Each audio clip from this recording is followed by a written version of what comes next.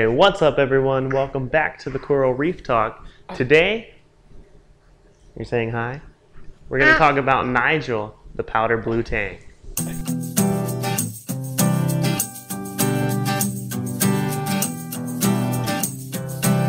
There he is, right there. Look,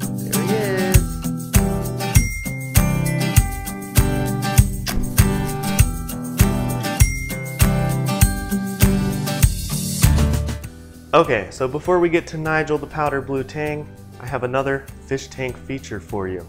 And if any of you guys don't know what the fish tank feature is, it's something I started a while ago to promote your reef tanks. If you have any kind of fish only tank or reef tank, or you're in this hobby and you want to showcase your tank on the show, submit a 20 second clip, email it to this link below, and just let me know what your favorite thing about this hobby is, and we'll get it on the show.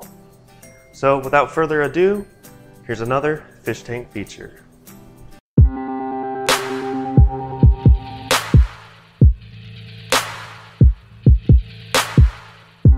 My name is Puzzle Sham. This is my 75 gallon tank, mostly LPS corals, and yeah, what I like about it most, it's in my room, and it's a challenge to keep all this, and it runs off a sun pure, filtration medias, chiller, the whole works. So yeah, this is my 75 gallon tank, and thanks for watching.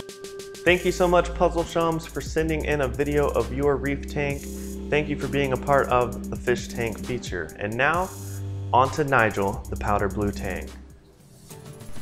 Powder blue tangs are known for their nice blue body and their blue and black markings which outline their face and their tail.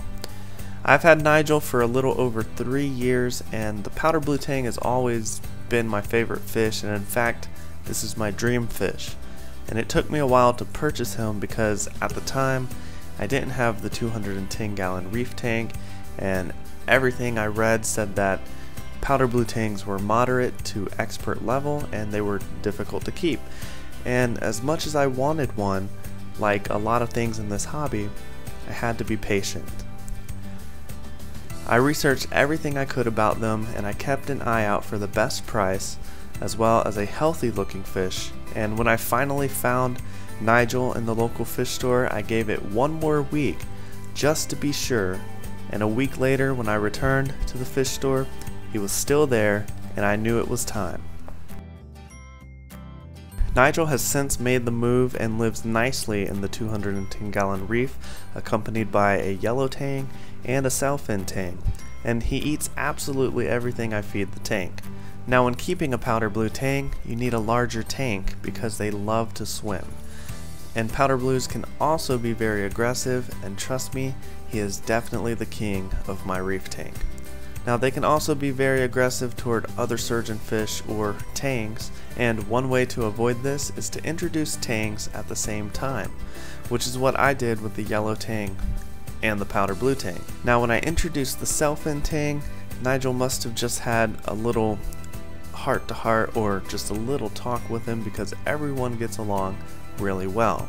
So if you're looking for a powder blue tang, be sure to provide a large enough aquarium Choose a healthy specimen, maintain good water quality, avoid similar tank mates like tangs of the same genus or same color, and feed a variety of veggies. Tangs love their greens, seaweed, flake food, and yes, some meaty food mixed in there too to keep them nice and strong and healthy.